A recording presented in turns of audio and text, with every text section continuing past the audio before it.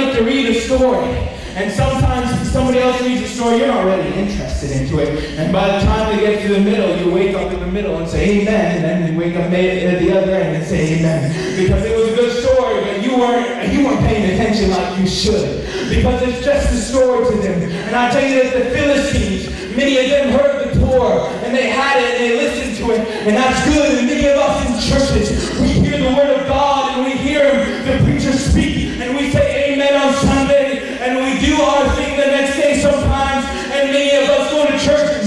Monday, Tuesday, Wednesday, Thursday,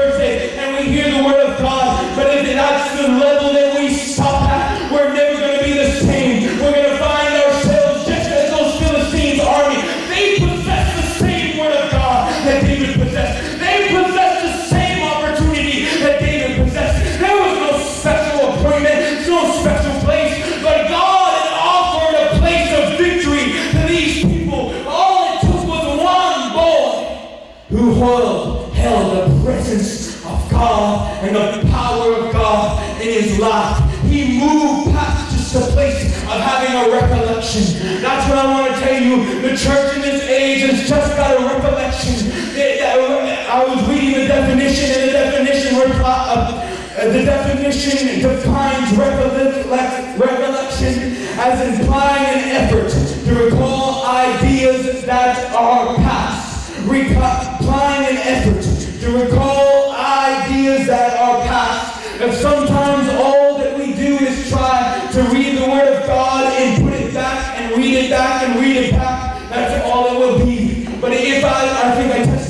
the other day, if you take the Word of God and say, Lord, reveal it to me, put it in my heart, let it minister to my life, let the Spirit of God lead me. That's what the Word of God says, right? I'm not lying to you.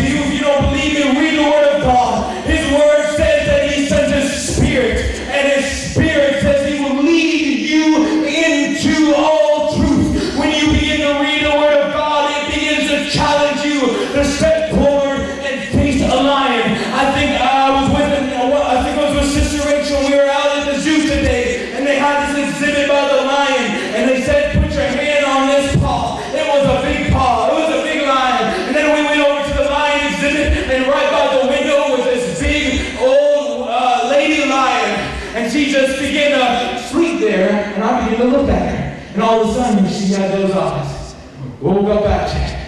It put something in there. You know there's a glass there, but still, you don't want that thing standing next to you. But the Bible says that God, that David took the lion, took the lion and he smote him. He took the bear and he smote him. Let me, what, what is that telling you? That tells you that that's, that the word of God was made alive to you. If all I was to do, if all I was to do tonight was to take this Bible and take one of these young men, and I was to give you this Bible and say, go jump into the lion cage, how quickly would you go?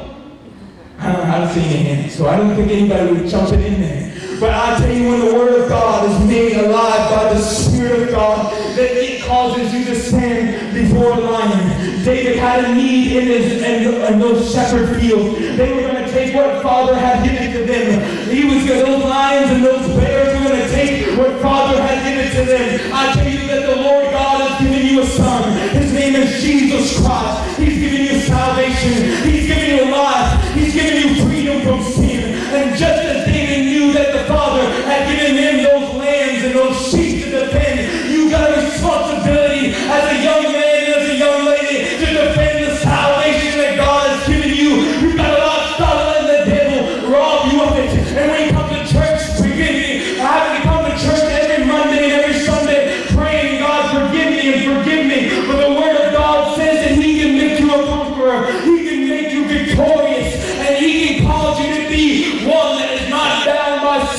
but stands upon the power of sin. And David did the same. He guarded what the Father had given him. Amen? Praise God, amen. David had guarded what the Father had given him. But I'll tell you that David had a memory.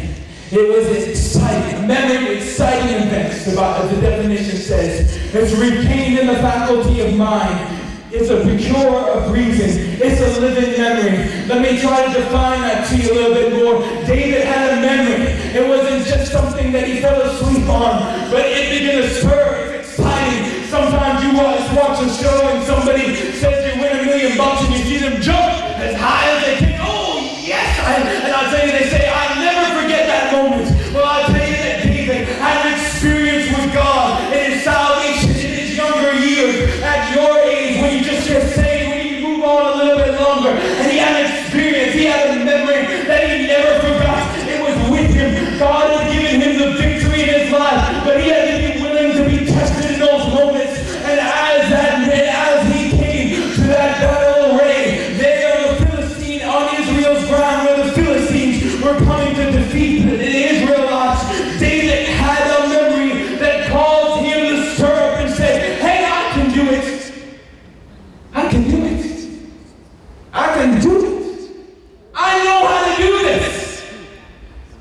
Don't you, sometimes taking those tests, and sometimes you begin to study and you know, wait a minute, I can't figure this out. But then you come upon another point and say, well, I know this.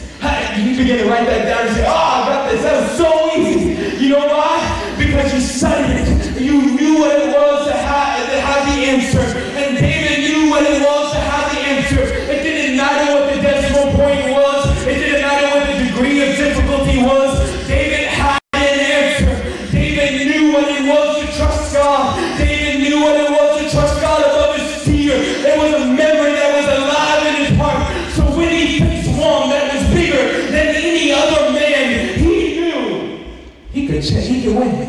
He could win. He could win. Wait a minute. Nobody else had this answer. Ah, sometimes in class you have those people that say, you're just a smarty pants. You just know it all. You know what happened there that day?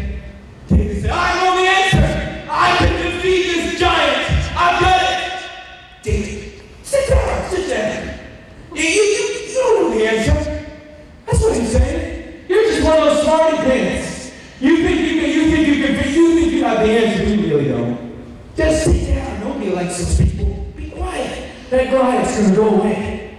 He's gonna go away. We, know. It's only been 40 days and he's done it every other day. I just know he's gonna go away. Isn't that like the devil? He just keeps attacking and defeating and people say, well, if I ignore it, it'll go away. No, I tell you, it's not gonna go away. You've got to face the enemy. You've got to face the challenges that God has placed in front of you if you're gonna have the victory. And I tell you that it's the will of God. The Bible says that Jesse, his father, sent him forth to that battle to help his brothers. You say, I'm too young, I can't help them. This is an older generation. Sometimes they, uh, they're not going to listen to me. But I'll tell you, when the Father sends you, when the Father sends you, then that's all that matters. I've got the Father's word. I've got the Father's word. I've never had a brother or sister. I wanted one before, but I've never had one. And I, I'm sure I've seen some friends. I've had some friends, and you know what? Uh, my best friend, uh, my best friend in Maine, he got married the other day. But anyways, I've had, I've seen him. He has two sisters, and I've seen it where he's come up before his sisters come to says, "Father told me." Father told me, so you gotta listen.